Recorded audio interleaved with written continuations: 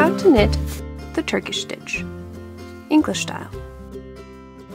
For this tutorial, you will need a pair of knitting needles and a ball of yarn. Special thanks to our sponsor Feel Good Yarn Company for providing today's yarn.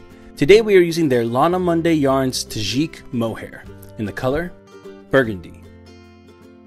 For this stitch, you'll need to know the following techniques. Knit, yarn over, knit two together.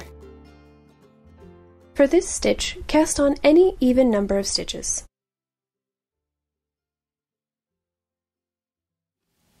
Row 1. Begin by knitting 1. Then begin your repeat by yarning over and knitting two stitches together. You'll repeat this until you've reached the last stitch on your row. Once you've reached the last stitch on your row, finish by knitting one. Repeat row 1 until you have reached your desired length. And that's how you knit the Turkish stitch.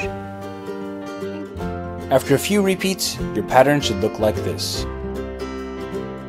Want more New Stitch a Day? Join our VIP email list to get every stitch directly to your inbox. Sign up today at newstitchaday.com slash VIP.